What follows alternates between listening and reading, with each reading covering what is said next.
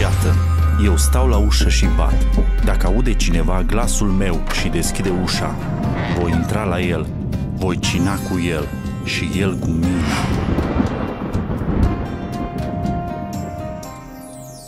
Am văzut în episoadele trecute autoritatea și victoria Domnului Isus asupra bolilor, asupra păcatului și asupra morții.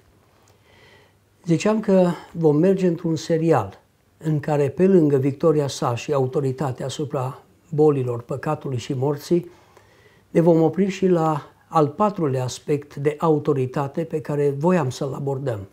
Victoria și autoritatea Domnului Isus asupra lui Satan. Aș vrea să citim în această zi din Evanghelia după Matei. Vom citi de la capitolul 4, momentul ispitirii Domnului Isus, când se află la chiar începuturile activității și lucrării sale de slujire de trei ani și jumătate. Isus a fost dus de Duhul în pustiu ca să fie ispitit de diavolul. Acolo a postit 40 de zile și 40 de nopți. La urmă a flămânzit. Ispititorul s-a apropiat de el și i-a zis, Dacă ești Fiul lui Dumnezeu, poruncește ca pietrele acestea să se facă pâine. Drept răspuns, Iisus i-a zis, este scris, omul nu trăiește numai cu pâine, ci cu orice cuvânt care iese din gura lui Dumnezeu. Atunci, diavolul l-a dus în sfânta cetate, l-a pus pe strașina templului și i-a zis, dacă ești fiul lui Dumnezeu, aruncă-te jos, căci este scris. El va porunci îngerilor să-i să vegheze asupra ta și ei te vor lua pe mâini, ca nu cumva să te lovești cu piciorul de vreo piatră. De asemenea, este scris, a zis Isus, să nu ispitești pe Domnul Dumnezeul tău. Diavolul a dus apoi pe un munte foarte înalt, i-a arătat toate împărățiile lumii și strălucirea lor și i-a zis, toate aceste lucruri ți le voi da ție dacă te vei arunca cu fața la pământ și te vei închina mie. Pleacă satano, i-a răspuns Isus, căci este scris Domnului Dumnezeului tău să te închini și numai lui să-i slujești. Atunci diavolul l-a lăsat și deodată au venit la Isus niște îngeri și au început să-i slujească. Amin. Dragii mei, Satan este un dușman foarte dibaci, foarte feroce, pe care noi cu toții îl avem, dar este foarte important și foarte semnificativ să cunoaștem despre tactica lui pentru ca să putem să-l și învingem. Nu știu câți dintre dumneavoastră ați auzit de numele lui Sun Tzu. Sun Tzu a trăit în urmă cu aproximativ 2500 de ani. A fost un general și strateg chinez. Omul acesta a rămas uh, celebru printr-o scriere a unei cărți, o carte cu 13 capitole și cartea, ta, cartea sa uh, a fost numită Arta războiului. Aceasta este una dintre cele mai citite cărți vreodată cu referire la uh, strategii despre război în lumea noastră. În ultimii 2500 de ani a fost folosită foarte mult. A fost folosită și chiar uh, am înțeles că mai este folosită de KGB, a fost folosită de cei din armata Vietcongului în timpul războiului cu americanii și chiar i-a ajutat pe ofițerii vietnamezi să reporteze mai multe victorii decât le-ar plăcea americanilor să recunoască. De asemenea, este tradusă și în limba română, cartea aceasta de anul trecut. Este tradusă din limba franceză, de fapt, această carte a lui Sun Tzu. E bine, în arta războiului sunt uh, tot felul de lucruri care au influențat gândirea și filozofia lumii cu referire la psihologia războiului, la strategii, la folosirea terenului uh, divers, la condițiile meteo, la uh, a face ca acele condiții meteo să devină un avantaj în strategiile pe care le adoptă oamenii care se, opre, se opresc și sunt în definirea strategiilor de război. Chiar cu uh, două milenii și jumătate în uh, urmă scris această carte, ea rămâne o carte de căpătâi pentru mai ales cei din estul Asiei și aș vrea unul dintre citatele care au fost uh, cel mai mult apreciate și care are legătură cu tactica lui Satan tactica diavolului. Iată ce spune Sun Tzu. Dacă vă cunoașteți inamicul și vă cunoașteți pe voi înșivă, atunci nu trebuie să vă temeți de sute de bătălii pe care le veți avea. Dacă însă te cunoști pe tine însuți, dar nu-ți cunoști dușmanul, atunci cu fiecare victorie să știi că trebuie să fii pregătit că vei avea și o înfrângere. Iar dacă nu te cunoști nici pe tine și nici dușmanul, atunci să fii sigur că vei avea parte numai de înfrângeri în bătălii. Ne oferă deci sfatul acesta. Războiul se bazează, zicea el, pe înșelare. Asta este și strategia lui Satan. Satan este și numit înșelătorul. El este bazat pe înșelare. Prin urmare, zicea uh, acest Sun Tzu în cartea sa, prin urmare, atunci când suntem capabili să atacăm, ar trebui să părem că suntem incapabili de așa ceva.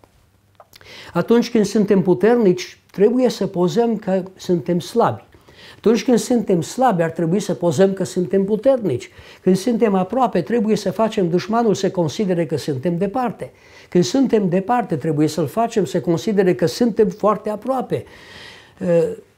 Uh, lucruri de felul acesta. Totul bazat pe lucrul pe care spuneam, înșelarea. Înșelarea dușmanului. Aș dori să rețineți că aceasta este strategia de bază și a acestui înger căzut, care este Satan, Lucifer, diavolul cel rău. Strategia lui se bazează exact pe lucrul acesta, pe înșelare. În uh, 1 Timotei, în capitolul 4, versetul 1 și 2, citim, citim despre niște uh, lucruri pe care le arată Scriptura prin Apostolul Pavel cu referire la vremea aceasta pe care noi o trăim și la faptul că în vremea sfârșitului vor fi tot felul de duhuri înșelătoare. E bine, trebuie să ne cunoaștem dușmanul și să știm că el este un dușman real, nu este doar o ficțiune, să-l cunoaștem pe înșelătorul și pentru uh, lucrurile acestea, pentru că atunci vom putea să fim mai pregătiți în a-l înfrunta în strategiile pe care el le adoptă. Ascultați ce spune Apostolul Pavel. Vă îndemn, zice, zice el în 1, în 1 Timotei, capitolul 4, ce Duhul spune lămurit că în zilele, în vremurile din urmă, unii se vor lepăda de credință ca să se alipiască de duhuri înșelătoare și de învățăturile dracilor. Lucrurile sună foarte dur, foarte, foarte uh, aprofundat, dar vreau să obțineți uh, lucrul acesta și să-l, să-l gândiți lucrul acesta. Noi trăim zilele astea, dragii mei. Și Satan și forțele înșelătoare cu demonii, cu duhurile înșelătoare vor lucra din ce în ce mai mult. Duhul spune lămurit, Duhul lui Dumnezeu, că în vremurile din urmă unii se vor lepăda de credință, se vor îndepărta de credință, se vor lepăda de ea și se vor lipi de duhuri, observați, înșelătoare și de învățăturile demonilor, de învățăturile dracilor. Este o creștere tot mai mare a oamenilor care aleg să-l urmeze pe Satan. Este surprinzător lucrul acesta, dar satanismul câștigă foarte mult teren și tot mai mult, mai ales tineri, sunt adepți ai lui Satan. Este în parcă un proces în care uh, el, Satan, prin tot ceea ce se întâmplă, chiar prin mijloace mass media sau, dacă vreți, prin seriale și prin diferite programe la televiziune, Satan vrea să uh, devină atrăgător ar vrea să pozeze în faptul că, de fapt, Satan, și asta ne este prezentat în procesul acesta, Satan nu este chiar atât de negru cât uh, a fost el prezentat, sau că uh, este mai mult neutru decât negru. Tocmai pentru că ar vrea să înșele pe oameni și uh, ar vrea să prezinte faptul că de fapt și Satan iubește oamenii și că ar vrea ca ei să se bucure de libertate și de o stare emoțională sănătoasă și frumoasă. O grămadă de mari minciuni pe care ar vrea cel rău să le aducă în fața oamenilor. Biblia ne spune că în vremea din urmă, în zilele din urmă, vor fi vremuri grele, oamenii vor fi iubitori de sine, de bani, lăudăroși, trufași, hulitori, neascultători de părinți, nemulțumitori fără dragoste firească, fără evlavie, neîmbluplecați, clevetitori, neînfrânați, neîmblânziți, neiubitori de, de bine, iubitori mai mult de plăceri decât iubitori de Dumnezeu. Astea sunt niște vremuri care sunt parte a unui proces pe care Dumnezeu îl permite lui Satan ca prin duhurile și forțele înșelării să determine ca oamenii care nu sunt atenți să se ducă spre direcția aceasta. De aceea este bine să-l cunoaștem pe Satan, să știm despre el lucruri esențiale, identitatea acestui înșelător. Revenind la citatul despre care spuneam al lui Sun Tzu, în arta războiului, trebuie să ne înțelegem dușmanul pentru ca să putem să îl învingem. Omul ăsta spune un adevăr. Și cum vă ziceam, ă, de 2500 de ani, strategiile bazate pe concepte din cartea lui, pornind tocmai de la acest lucru, să ne cunoaștem dușmanul, să fim foarte atenți, ne știm pe noi și să ne știm și dușmanul, pentru ca să putem să îl învingem. Lucrurile acestea sunt de mare însemnătate.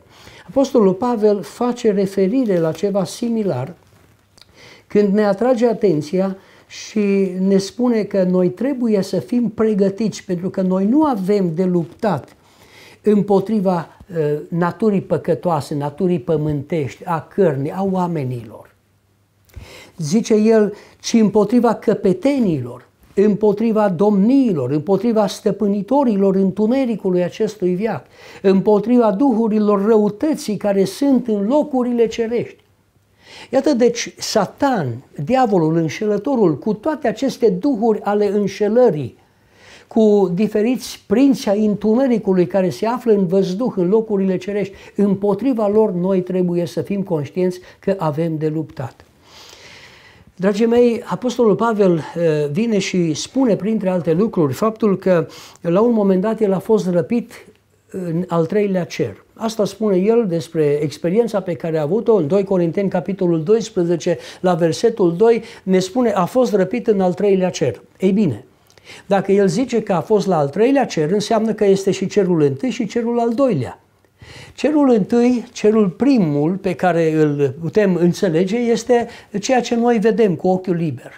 Este văzduhul acesta pe care îl vedem cu ochiul nostru carnal, firesc. Apoi este al treilea cer, care este locul unde își are reședința Dumnezeu, unde Apostolul Pavel spune că el a fost acolo. Între cerul acela, unde este locul, unde este Domnul Isus, unde este Dumnezeu Tatăl, unde este uh, prezența lui Dumnezeu și templul lui Dumnezeu și frumusețea uh, gloriei slave, slavei cerești și între acel loc și cerul acesta pe care îl vedem noi este al doilea cer. Al doilea cer care este văzduhul acela despre care ne spune Biblia că este locașul unde locuiesc duhurile înșelătoare, unde locuiește Satan. E bine, Scriptura ne arată și face referire la ceva de felul acesta în momentul în care, în cartea lui Daniel, la capitolul 10, Biblia ne relatează despre o descoperire deosebită pe care Dumnezeu i-a dat-o acestui profet al Vechiului Testament, lui Daniel. Și în urma descoperirii a fost cutremurat Daniel. A început să se roage. A fost în post și spune cuvântul lui Dumnezeu. În vremea aceea eu, Daniel, trei săptămâni am fost în jale, n-am mâncat deloc bucate alese, nu mi-a intrat în gură nici carne, nici vin și nici nu m-am uns deloc, până s-au împlinit cele trei săptămâni. 21 de zile Bărbatul acesta lui Dumnezeu, în urma descoperirii, a revelației care l-a cutremurat, despre vremea sfârșitului, a stat 21 de zile în rugăciune și în post. El s-a rugat, dar iată, primește un răspuns după 21 de zile. Și îi se arată un înger al lui Dumnezeu și zice, el mi-a zis, Daniele, nu te teme, nu te teme de nimic, căci cuvintele tale au fost ascultate, ascultați. Din cea din tâi zi, când ți-ai pus inima ca să înțelegi și să te smerești înaintea Dumnezeului tău, și tocmai din pricina cuvintelor tale vin eu acum. Deci în prima zi Dumnezeu i-a ascultat rugăciunea, dar apariția îngerului și răspunsul vine după 21 de, 21 de zile, după 3 săptămâni. De ce? Pentru că zice îngerul, căpetenia împărăției Persiei mi-a stat împotrivă 21 de zile. Însă iată că Mihail, una din căpetenile cele mai de seamă, mi-a venit în ajutor și am ieșit biruitor acolo, lângă împărații Persiei. Ce putem înțelege este că s-a dat și se dă o luptă la nivelul văzduhului între ființele lui Dumnezeu, trimese de Dumnezeu, ca solei lui Dumnezeu, îngeri, și ființele care sunt solii celui rău și satan, care sunt căpetenii pe diferite teritorii, căpetenia împărăției Persiei, o căpetenie a întunericului. Noi avem de luptat împotriva căpeteniilor, împotriva duhurilor înșelătoare ale răutății care sunt în văzduh, în locurile cerești. Aceasta este foarte bine să știm. Sunt niște spirite, sunt niște duhuri, ele sunt reale și noi avem de luptat împotriva lor. Ei bine, dacă noi nu știm cine sunt aceste spirite, cum ele încearcă uh, să, de mai multe ori să ne înșele, să ne mintă, să fure pacea și tot felul de lucruri, noi putem să ajungem să fim asupriți. Putem să ajungem să fim deprimați, să fim prinși de frică, de temere, să ni se înmoaie picioarele. Dar tocmai asta este ceea ce Dumnezeu vrea ca să evite, ar vrea ca noi să nu fim așa. Prin puterea pe care ne oferă Dumnezeu, noi suntem mai tari decât duhurile înșelătoare, decât diavolul. Trebuie să fim conștienți de următoarele lucruri. Diavolul ne vrea divizați, ne vrea să ne împărțim. Când apare așa ceva, este deja strategia celui rău acolo. Apoi, diavolul dorește ca noi să fim păcăliți, să fim manipulați, să fim furați, să fim, cu un cuvânt, înșelați. Pentru că El este înșelătorul. Prea mulți sunt oamenii care sunt credincioși, dar care efectiv uh, uh, știu câte, câte ceva dintre, dintre lucrurile care sunt cu referire la Satan, dar uh, nu își cunosc suficient de bine acest dușman care este diavolul. Uneori oamenii acționează ca și cum diavolul nici măcar nu ar exista și nu se roagă în lupta împotriva diavolului, nu solicită protecție, înțelepciune, călăuzire din partea lui Dumnezeu. Deci este bine să cunoaștem câteva lucruri despre cel rău, despre înșelătorul, despre diavolul. Primul lucru care este foarte important este să știm că el este o creatură, este o ființă creată. El a fost creat. Și asta înseamnă că nu poate să fie deloc pus pe o treaptă de egalitate cu Dumnezeu. El nu este omologul lui Dumnezeu. Nu are Dumnezeu un egal și să fie Satan un omolog al lui Dumnezeu. Dumnezeu a existat dintotdeauna și Dumnezeu este Cel care a creat toate celelalte ființe, inclusiv îngerii. Diavolul de asemenea nu este omniprezent. Asta înseamnă diavolul nu poate să fie în același timp în mai multe locuri. Dumnezeu poate, Dumnezeu este omniprezent, poate să fie în orice loc, oricând. Apoi, diavolul nu este atot cunoscător, Dumnezeu este. Dumnezeu cunoaște toate lucrurile. Dumnezeu știe trecutul, prezentul, viitorul. Dumnezeu știe lucrurile ascunse. Diavolul nu cunoaște totul, nu este atot cunoscător. De asemenea, Dumnezeu este atotputernic, diavolul nu este atotputernic. El are o forță foarte mare, dar el nu are toată forța, toată capacitatea, toată autoritatea. Dumnezeu este cel care are toată autoritatea. Dumnezeu este cel care are toată puterea. Și este foarte bine să ținem cont de lucrurile acestea.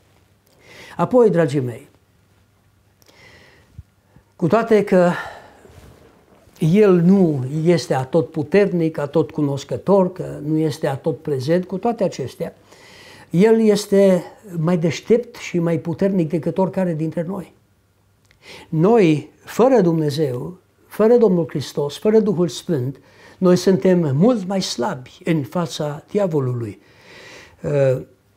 Deși nu poate să fie în mai multe locuri simultan, deși nu știe totul, nu cunoaște viitorul, puterea lui este limitată, el totuși are o putere foarte mare și are capacitatea să ne înșele, să ne ispitească și are capacitatea să ne ducă și să ne îndepărteze de lucrurile care țin de cer, de împărăția lui Dumnezeu. El nu trebuie să uităm că el a fost luceafărul strălucitor de dimineață din Luceafăr a devenit Lucifer, a devenit înșelătorul. Despre el știm câteva lucruri, a fost foarte frumos și frumusețea lui a fost radiantă. Avea abilitatea de a aduce muzica și lauda la adresa lui Dumnezeu în universul creat de Dumnezeu. Biblia ne spune câte ceva despre el și putem înțelege, n-am să citez mult, dar puteți să vă gândiți și să vedeți, să cunoașteți în Isaia, în capitolul 14, despre el. Iată ce ne spune Biblia, Isaia 14, de la versetul 12. Cum ai căzut? Cum ai căzut din cer luceafăr strălucitor, fiu al zorilor? cum ai fost doborât la pământ, tu, biruitorul neamurilor. Tu ziceai în inima ta, mă voi sui în cer, iată de ce a căzut. Îmi voi ridica scaunul de domnie mai presus de stelele lui Dumnezeu. Voi ședea pe muntele adunării Dumnezeilor la capătul miază nopții. Mă voi sui pe vârful norilor. Voi fi ca cel prea înalt. Dar ai fost aruncat în locuința morților, în adâncimile mormântului. Nu numai Isaia vorbește despre, despre el, dar de asemenea în cartea lui Ezechiel, la capitolul 28, găsim câteva lucruri spuse despre uh, Lucifer. Iată ce spune de la versetul 11. Cuvântul Domnului mi-a vorbit astfel, fiul omului, fă un cântec de jale asupra împăratului tirului și spune metaforic. Așa vorbește Domnul Dumnezeu, ajunseseși la cea mai înaltă desăvârșire erai plin de înțelepciune, desăvârșit în frumusețe, stăteai în Eden, grădina lui Dumnezeu, acoperit cu tot felul de pietre scumpe, sardonix, topaz, diamant, crisolit, onix, iaspis, safir, rubin, smarald, aur, timpanele și flautele erau în slujba ta. El era cel care conducea lauda, închinarea în universul acesta al creației lui Dumnezeu. Ce lucrare minunată trebuie să fie avut! Deci toate care erau pregătite pentru ziua când ai fost făcut. Erai un heruvim ocrotitor, cu aripile întinse, te pusesem pe muntele cel sfânt al lui Dumnezeu, umblai prin mijlocul pietrelor scânteietoare, ai fost fără prihană în căile tale din ziua când ai fost creat până în ziua când s-a găsit nelegiuire în tine. Observați, observați ce spune Dumnezeu.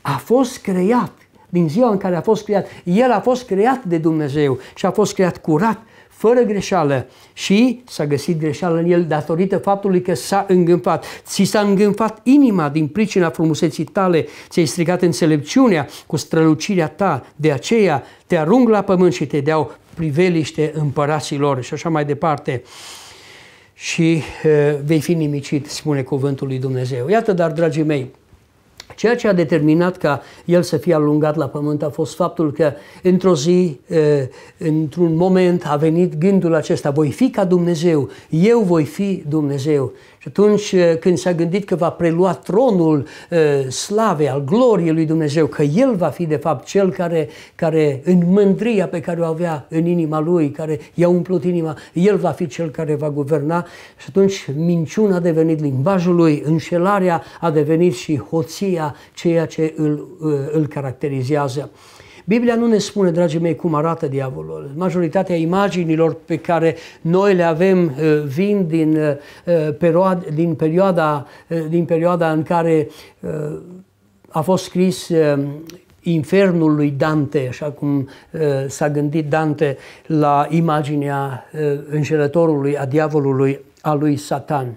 Dar uh, noi știm exact, uh, însă, deși nu știm cum arată diavolul, știm uneori el este capabil să se transforme în înger de lumină, ne spune Apostolul Pavel și slujitorii săi sunt capabili, dacă el s-a, s-a transformat și se transformă în înger de lumină și slujitorii săi, demonii, duhurile rele, pot să se transforme în așa ceva. Pot să pară că sunt bune, pot să pară că sunt frumoase, pot să pară lucrurile acestea și spiritele acestea că de fapt vor binele. Dar țineți cont de lucrul respectiv. Planul pe care îl are cel rău și cea mai, cea mai cumplită armă a lui este înșelarea, este minciuna. În relația pe care Domnul Isus Hristos a avut-o cu el, el l-a cunoscut pe diavolul. Isus tocmai de aceea l-a biruit pentru că a știut manevrele diavolului, faptul că este înșelător. A vegheat, a fost atent când diavolul a venit la Isus. Isus a răspuns cu cuvântul lui Dumnezeu. De cele mai multe ori când Domnul Isus Hristos are de a face cu farisei și, și saduchei și oamenii care cunoșteau Scripturile, oamenii religioși, Mântuitorul a venit și a spus pe față uneori anumite lucruri. De pildă, ce dur este Mântuitorul când vine și spune în Ioan, în capitolul 8, la versetul 42, 44, iată, când ei se erigează în a fi fiul lui Avram. Când oamenii aceștia vin și spun că ei l-au de tată pe Dumnezeu și l-au de tată pe Avram, Iisus zice, dacă ar fi Dumnezeu tatăl vostru, m-ați iubi și pe mine, căci eu am ieșit și vin de la Dumnezeu. N-am venit de la mine însumi. El, Dumnezeu, Tatăl, m-a trimis. Voi aveți de tată pe diavolul. Observați ce mare diferență. Oamenii care vin și spun, noi îl avem de tată pe Dumnezeu, iar Isus vine și spune, voi aveți de tată pe diavolul. Trebuie să fii foarte atent, să nu fii înșelat. Diavolul i-a înșelat pe oamenii aceștia să nu-L accepte pe Isus, să nu accepte învățătura lui Isus, să nu accepte divinitatea lui Isus. Voi aveți de tată pe diavolul și vreți să primiți poftele tatălui vostru. El de la început a fost ucigaș și el nu este în adevăr. Ori de câte ori spune o minciună, el vorbește din ale, ale lui, căci este mincinos și este tatăl minciunii. Iată dar, dragii mei, lucrul acesta este foarte evident în, uh, în faptul acesta că el este mincinos, tatăl minciunii, tocmai de aceea Apostolul Pavel vine mai târziu și când scrie unor biserici, de pildă scrie bisericii de la Colose, vine și spune credincioșilor, nu vă mai mințiți unii pe alții, nu vă mințiți unii pe alții, așa ați fost înainte să-L cunoașteți pe Dumnezeu, dar nu trebuie să mai fie minciună în vocabularul vostru, în cuvintele voastre. Minciuna vine de la cel rău. Cine este în Hristos este în adevăr și adevărul este cel care îl face liber, îl face slobod.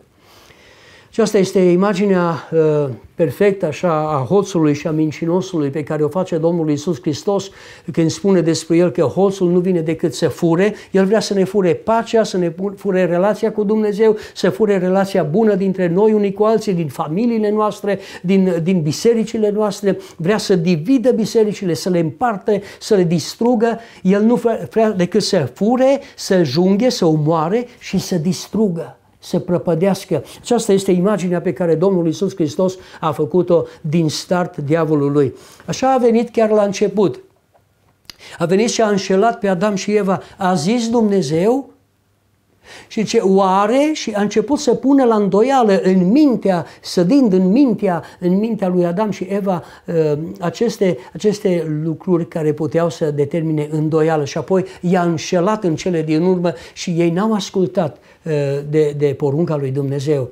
Așa au fost înșelați, au fost mințiți. Acum vine cu alte minciuni diavolul dar vreau să observați în încheiere, dragii mei, și cu asta închei învățătura din această zi și vreau să continui în episodul următor, pentru că este mai mult de spus la acest capitol. Vreau să observați că de fiecare dată Domnul Isus Hristos a răspuns la intențiile de înșelare ale diavolului cu cuvântul lui Dumnezeu. În fiecare abordare pe care o, o are cel rău, Mântuitorul răspunde uh, despre ceea ce este scris în cuvântul lui Dumnezeu. Și Domnul Iisus Hristos vine și îi dă un cuvânt care era trecut în Deuteronom când uh, cel rău îi spune să poruncească să se facă pietrele pâini. Este scris. Cuvântul lui Dumnezeu zice, omul nu trăiește numai cu pâine, ci cu orice cuvânt care iese din gura lui Dumnezeu trăiește omul. Apoi când vine și îi spune, uite-te, aruncă-te jos pentru că el va porunci îngerilor să te păzească. Este scris. Cunoaște diavolul scripturile. Da, dar Isus dă adevărata interpretare și uh, unde trebuie pus cuvântul și cum trebuie el înțeles. De asemenea este scris să nu ispitești pe Domnul Dumnezeul tău. Și apoi îi cere diavolul să se închine lui și toate bogățiile lumii îi le va da diavolul lui. Iar Domnul Iisus răspunde, pleacă satano, este scris Domnului Dumnezeului tău să te închini și numai lui să-i slujești. În modul acesta Iisus a biruit pe Satan în această ispitire, confruntare directă cu el. Aș vrea ca Dumnezeu să vă ajute să fiți victorioși prin Isus Hristos în același mod. Și vom continua în episodul următor să ne oprim la alte aspecte care sunt de maximă însemnătate, ca să putem să-L cunoaștem pe cel rău și să știm strategiile Lui și prin credința în Dumnezeu și în cuvântul Său, aplicând vieților noastre cuvântul Său, am fi și vom fi biruitori în același minunat și prețios nume al Domnului și Mântuitorului nostru, Isus Hristos.